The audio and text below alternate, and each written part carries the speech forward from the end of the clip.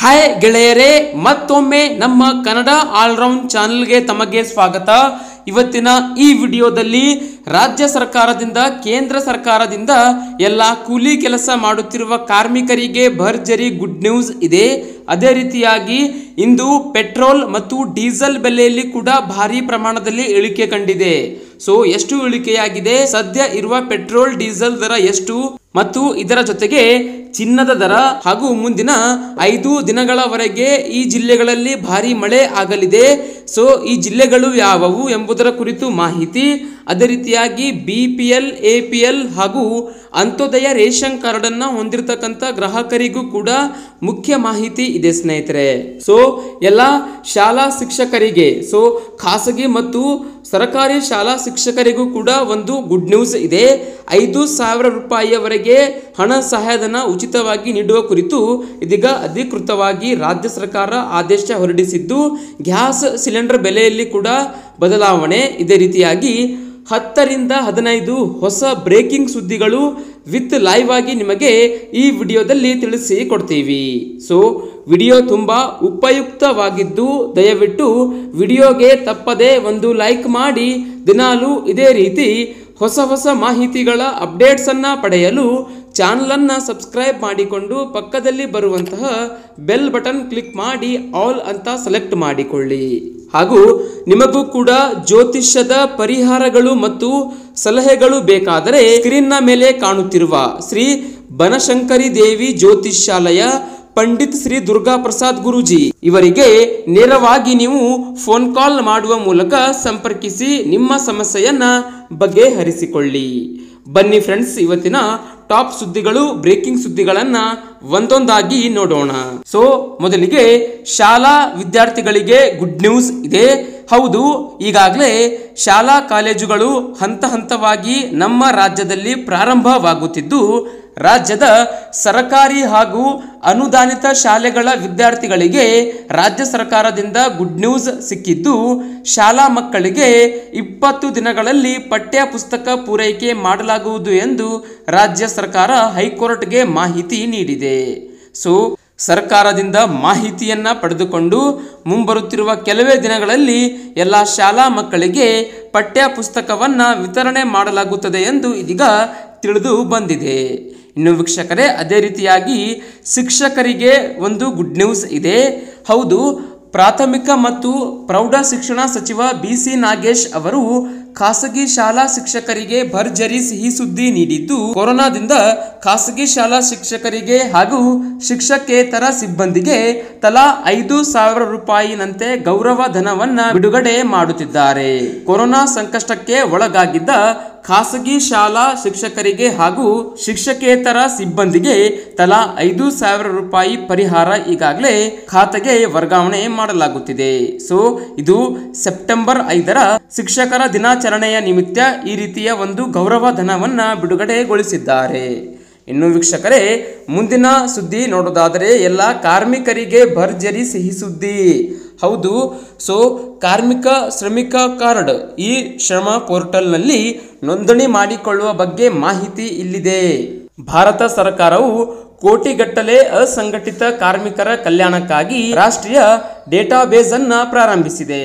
ಮೋದಿ ನೇತೃತ್ವದ ಕೇಂದ್ರ ಸರ್ಕಾರ ಈ ಶ್ರಮ ಪೋರ್ಟಲ್ ಅಭಿವೃದ್ಧಿ ಪಡಿಸಿದ್ದು ಆಧಾರ್ ಕಾರ್ಡ್ ಸೇರಿದಂತೆ ಇತರೆ ಎಲ್ಲಾ ಮಾಹಿತಿಯಿಂದ ನೀವು ಈ ಯೋಜನೆಗೆ ನೋಂದಣಿ ಮಾಡಿಕೊಳ್ಳಬಹುದು.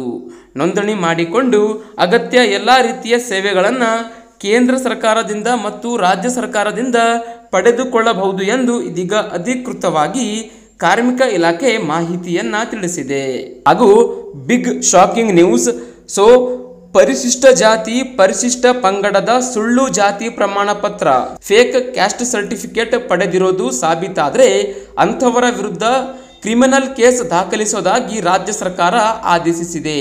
ಹೌದು, ಈ ಕುರಿತಂತೆ ರಾಜ್ಯದ ಇನ್ಸ್ಪೆಕ್ಟರ್ ಜನರಲ್ ಆಫ್ ಪೊಲೀಸ್ ಅವರು ಡಿಜಿಪಿಯಿಂದ ಅನುಮೋದಿಸಲ್ಪಟ್ಟಂಥ ಸುತ್ತೋಲೆಯನ್ನು ಪೊಲೀಸ್ ಅಧೀಕ್ಷಕರಿಗೆ ಹೊರಡಿಸಿದ್ದು, ಯಾರಾದರೂ ವ್ಯಕ್ತಿಯು ಫೇಕ್, ಸೊ ತಪ್ಪು ಹಾಗೂ ಸುಳ್ಳು ಎಂದು ಸಾಬೀತುಪಡಿಸಿದ ಪರಿಶಿಷ್ಟ ಜಾತಿ, ಪರಿಶಿಷ್ಟ ಪಂಗಡದಿಂದ ಜಾತಿ ಪ್ರಮಾಣ ಪತ್ರ ಪಡೆದಿದ್ದಲ್ಲಿ ಅಂಥವರ ವಿರುದ್ಧ ಕ್ರಿಮಿನಲ್ ಕೇಸ್ ದಾಖಲಾಗಲಿದೆ ಎಂದು ಇದೀಗ ಸುತ್ತೋಲೆಯಲ್ಲಿ ಮಾಹಿತಿಯನ್ನ ತಿಳಿಸಲಾಗಿದೆ. ರೇಷನ್ ಕಾರ್ಡ್ ವಿತರಣೆ ಮಾಡುವುದರಲ್ಲಿ ಭಾರಿ ಬದಲಾವಣೆ. ಹೌದು, ಪಡಿತರ ಚೀಟಿದಾರರಿಗೆ ಸಿಹಿ ಸುದ್ದಿ ಇಲ್ಲಿದೆ. ಪಡಿತರ ಚೀಟಿಯ ನಿಯಮಗಳಲ್ಲಿ ದೊಡ್ಡ ಬದಲಾವಣೆಯನ್ನ ಇದೀಗ ಮಾಡಲಾಗಿದ್ದು ಹೊಸ ನಿಯಮದ ಪ್ರಕಾರ ಈಗ ನೀವು ಮನೆಯಲ್ಲೇ ಕುಳಿತುಕೊಂಡು ರೇಷನ್ ಆಹಾರ ಧಾನ್ಯವನ್ನ ಪಡೆಯಬಹುದು. ಸೊ, ಉಚಿತ ಪಡಿತರ ಸೌಲಭ್ಯವನ್ನ ಪಡೆಯುವಂತಹ ಎಲ್ಲ ಫಲಾನುಭವಿಗಳು ಅಂಗಡಿಗೆ ಭೇಟಿ ಕೊಡುವ ಅವಶ್ಯಕತೆ ಇಲ್ಲ. ಮನೆಯಲ್ಲಿಯೇ ಕುಳಿತುಕೊಂಡು ಆಹಾರ ಧಾನ್ಯವನ್ನ ಪಡೆದುಕೊಳ್ಳಬಹುದು ಎಂದು ಇದೀಗ ಅಧಿಕೃತವಾಗಿ ಸರ್ಕಾರವು ಘೋಷಣೆ ಮಾಡಿದೆ. ಈ ರೀತಿಯ ಒಂದು ಹೊಸ ರೂಲ್ಸ್, ಹೊಸ ವ್ಯವಸ್ಥೆಯನ್ನ ದೆಹಲಿ ಸರ್ಕಾರ ಹೊರಡಿಸಿದ್ದು, ಮುಂಬರುತ್ತಿರುವ ಕೆಲವೇ ದಿನಗಳಲ್ಲಿ ರಾಜ್ಯಾದ್ಯಂತ ಎಲ್ಲ ರೀತಿಯ ನಮ್ಮ ದೇಶದಲ್ಲಿರುವಂತಹ ಎಲ್ಲ ರಾಜ್ಯಗಳಲ್ಲಿ ಜಾರಿಗೆ ಆಗಲಿದೆ ಎಂದು ಇದೀಗ ಕೇಂದ್ರ ಆಹಾರ ಇಲಾಖೆ ತಿಳಿಸಿದೆ. ಇನ್ನು ವೀಕ್ಷಕರೇ, ಮುಂದಿನ ಐದು ದಿನಗಳವರೆಗೆ ಈ ಜಿಲ್ಲೆಗಳಲ್ಲಿ ಭಾರೀ ಮಳೆಯಾಗುವ ಸಾಧ್ಯತೆ. ಹೌದು, ಸೆಪ್ಟೆಂಬರ್ ಆರಂಭದಿಂದಲೇ ಕರ್ನಾಟಕದಲ್ಲಿ ಮತ್ತೆ ಭಾರೀ ಮಳೆಯಾಗುವ ಸಾಧ್ಯತೆ ಇದೆ ಎಂದು ಹವಾಮಾನ ಇಲಾಖೆ ಐ ಎಂ ಮುನ್ಸೂಚನೆಯನ್ನ ನೀಡಿದೆ. ಬೆಂಗಳೂರು ಗ್ರಾಮಾಂತರ, ಚಿಕ್ಕಬಳ್ಳಾಪುರ, ಹಾಸನ, ಕೋಲಾರ, ರಾಮನಗರ ಸೇರಿದಂತೆ ಉಡುಪಿ, ದಕ್ಷಿಣ ಕನ್ನಡ ಹಾಗೂ ಉತ್ತರ ಕನ್ನಡ ಜಿಲ್ಲೆ ಸೇರಿದಂತೆ ಕೋಲಾರ, ರಾಮನಗರ, ಶಿವಮೊಗ್ಗ, ತುಮಕೂರು ಜಿಲ್ಲೆಗಳು ಮತ್ತು ಉತ್ತರ ಕರ್ನಾಟಕದ ಕೆಲವೊಂದಿಷ್ಟು ಜಿಲ್ಲೆಗಳಲ್ಲಿ ಭಾರೀ ಮಳೆಯಾಗಲಿದೆ ಎಂದು ಇದೀಗ ಹವಾಮಾನ ಇಲಾಖೆ ಮುನ್ಸೂಚನೆಯನ್ನ ನೀಡಿದೆ. ನಿಮ್ಮ ಜಿಲ್ಲೆ ಯಾವುದು? ನಿಮ್ಮ ಜಿಲ್ಲೆಯಲ್ಲಿ ಕೂಡ ಇದೀಗ ಮಳೆಯಾಗುತ್ತಿದೆನಾ? ತಪ್ಪದೇ ಕಾಮೆಂಟ್ ಬಾಕ್ಸಲ್ಲಿ ಕಮೆಂಟ್ ಮಾಡುವ ಮೂಲಕ ತಿಳಿಸಿ.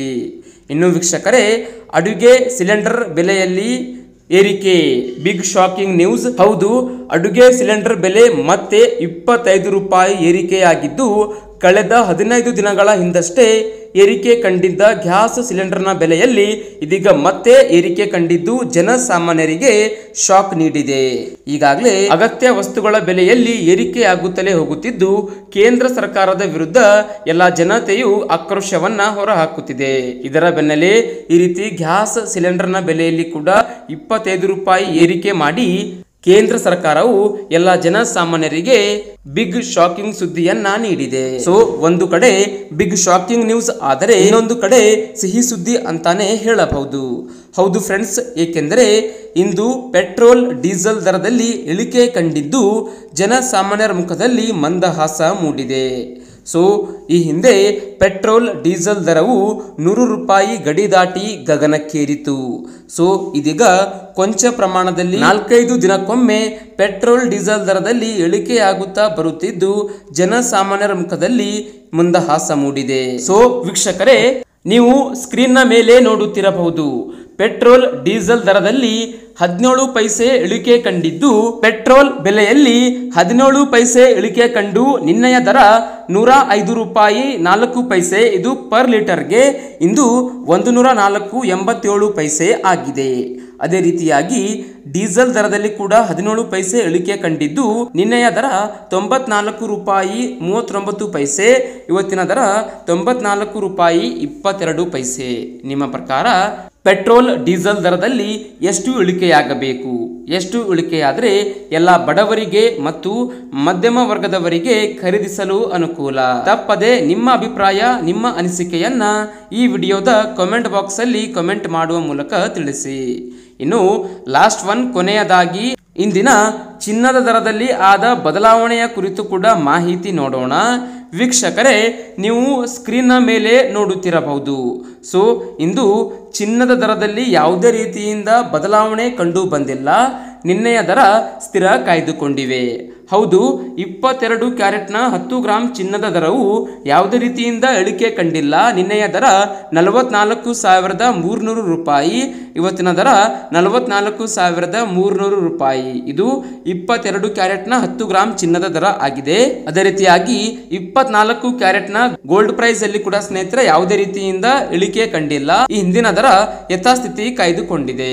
ಇಪ್ಪತ್ನಾಲ್ಕು ಕ್ಯಾರೆಟ್ನ ಗೋಲ್ಡ್ ಪ್ರೈಸ್ ನಿನ್ನೆಯ ದರ ನಲವತ್ತೆಂಟು ಸಾವಿರದ ಮೂರುನೂರ ಮೂವತ್ತು ರೂಪಾಯಿ, ಇವತ್ತಿನ ದರ ನಲವತ್ತೆಂಟು ಸಾವಿರದ ಮೂರುನೂರ ಮೂವತ್ತು ರೂಪಾಯಿ. ಇದು ಕೂಡ ಹತ್ತು ಗ್ರಾಮ್ ಚಿನ್ನದ ದರ ಆಗಿದೆ. ನಿಮ್ಮ ಪ್ರಕಾರ ಚಿನ್ನದ ದರದಲ್ಲಿ ಎಷ್ಟು ಇಳಿಕೆಯಾಗಬೇಕು? ಎಷ್ಟು ಇಳಿಕೆಯಾದರೆ ಎಲ್ಲ ಬಡವರಿಗೆ ಮತ್ತು ಮಧ್ಯಮ ವರ್ಗದವರಿಗೆ ಖರೀದಿಸಲು ಅನುಕೂಲ? ನಿಮ್ಮ ಅಭಿಪ್ರಾಯ ನಿಮ್ಮ ಅನಿಸಿಕೆಯನ್ನು ಈ ವಿಡಿಯೋದ ಕಮೆಂಟ್ ಬಾಕ್ಸಲ್ಲಿ ಕಮೆಂಟ್ ಮಾಡುವ ಮೂಲಕ ತಿಳಿಸಿ. Thank you